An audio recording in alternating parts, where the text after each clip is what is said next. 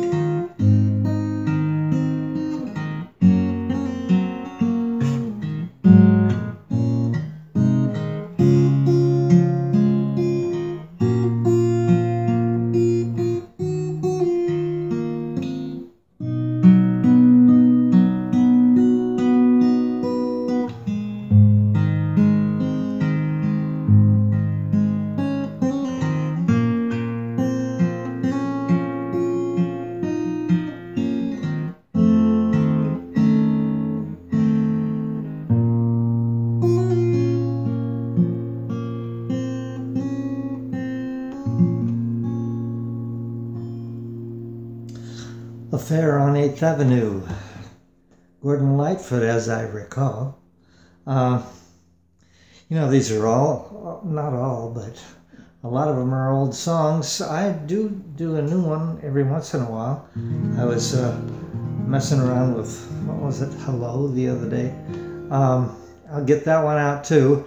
Uh, but uh, this one, uh, I needed some uh, material to do. I dug back through all my old songs.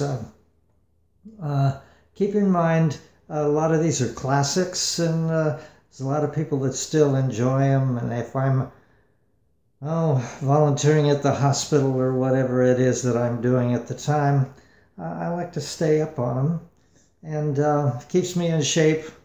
Whatever. Uh, I still love playing. Uh, fills the bill, so you'll get a lot more videos here. Hope you enjoyed it. Thanks for listening. Bye for now. International recording legend Denny Zager of Zager EZ-Play Guitars and writer of In the Year 2525, the biggest one hit wonder in world recording history, selling over 20 million records.